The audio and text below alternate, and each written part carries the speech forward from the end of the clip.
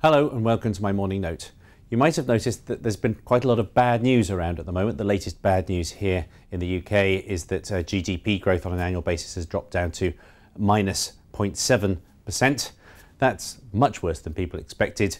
Uh, and if you really want a cheerful little stat, every time over the last 50 years that growth has dropped that far, it has always fallen further before getting better again. So the UK economy seems to have reached stall speed.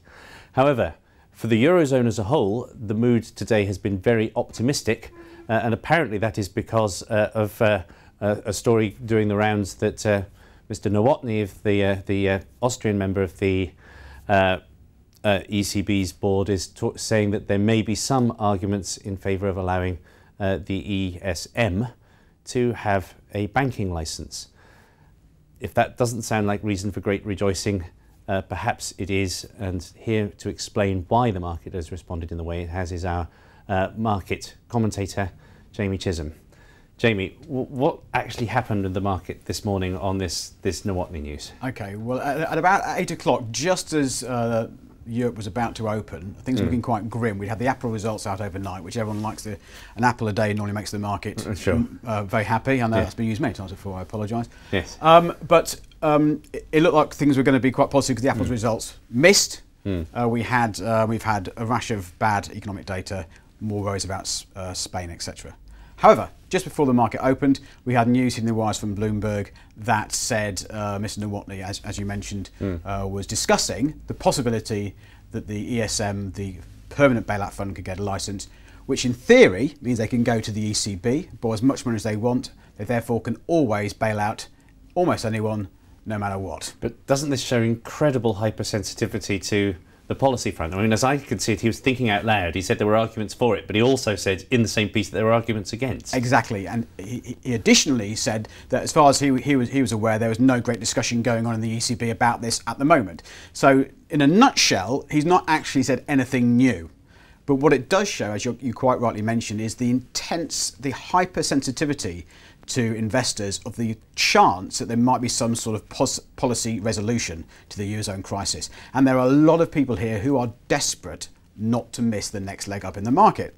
So straight away we had a bit of a rise. And let's keep this in perspective. Mm. The hmm. markets did not go ballistic. Okay, let's take a look at uh, let's take a look at exactly how ugly it was before this morning. This chart's now a few hours out of date, but two-year bond yields uh, on Spain uh, at uh, a eurozone record.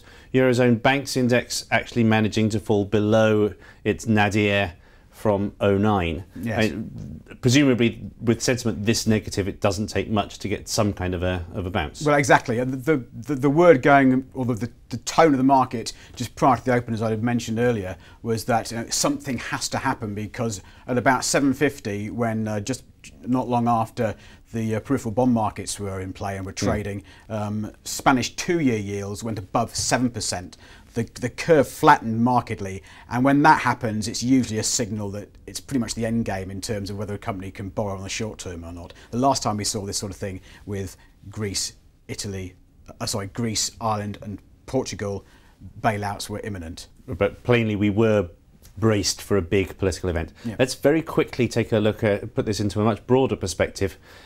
Despite the earnings season not being all that exciting so far, one thing continues to be there to go strong, which is that people are going short the U short Europe and long the US, and it continues to work. How long can this possibly carry on? Well, there's been there's been more debate about this um, in the market recently. Actually, I, mm. I, I, did a piece on the Trading Post mm. in today's paper. That's uh, Wednesday's paper. Mm um, which says a call for Morgan Stanley, which says emerging markets as well as Europe, which has been underperforming relative to the S&P, mm.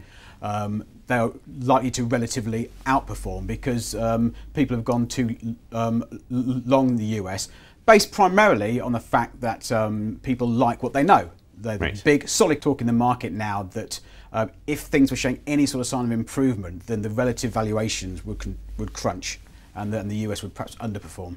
Okay, Jamie, thank you very much indeed. A lot of stuff going on uh, if you want one summation from it.